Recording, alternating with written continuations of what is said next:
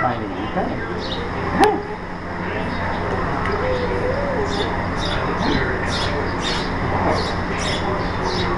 Hi. Of course. Be nice. Look at this loving.